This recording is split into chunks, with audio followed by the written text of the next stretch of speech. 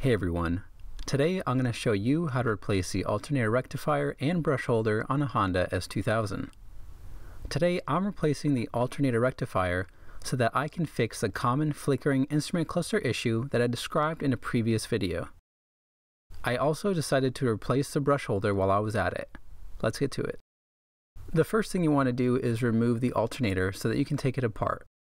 If you need help doing that, I've got videos that will be linked down below. Once you have the alternator removed, you'll want to remove the terminal insulator. Use a 12mm socket and a ratchet to remove the nut securing the terminal insulator. Once the nut is removed, pull the terminal insulator off of the alternator. Next, you'll want to remove the end cover and terminal plate.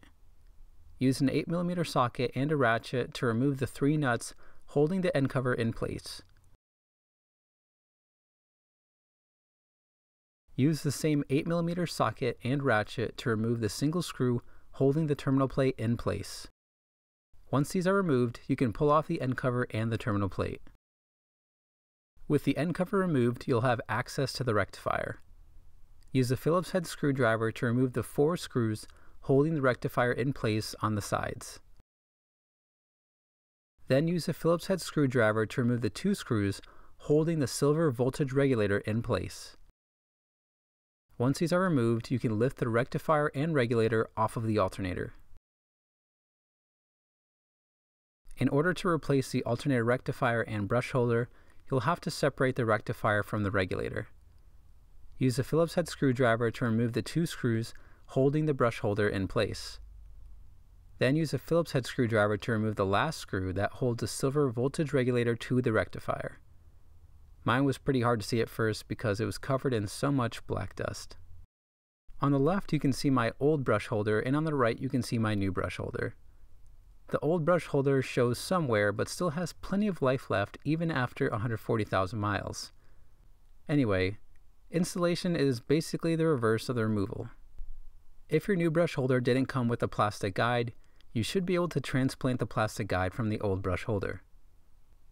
Then use a Phillips head screwdriver to install the screw that holds the silver voltage regulator to the new rectifier.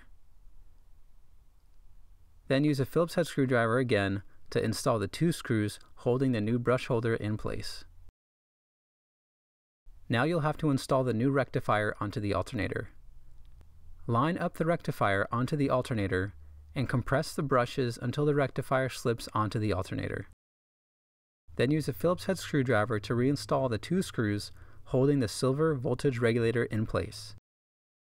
Continue by using a Phillips head screwdriver to reinstall the four screws holding the rectifier in place on the sides.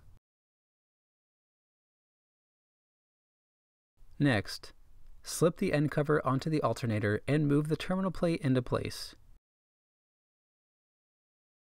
Then use an 8mm socket and ratchet to install the three nuts holding the end cover in place.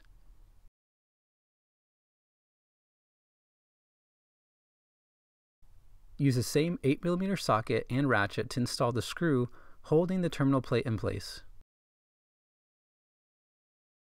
The last component to install back onto the alternator is the terminal insulator.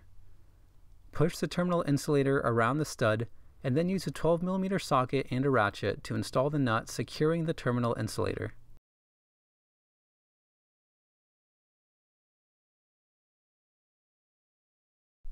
The last thing you want to do is reinstall the alternator back onto the car. If you need help doing this, I've got videos that will be linked down below. And that's it. Hopefully this video helps some of you out there replace your alternator rectifier. If you liked this video, be sure to give it a thumbs up and smash that subscribe button if you'd like to see more. As always, feel free to leave a comment down below with a video you'd like to see in the future.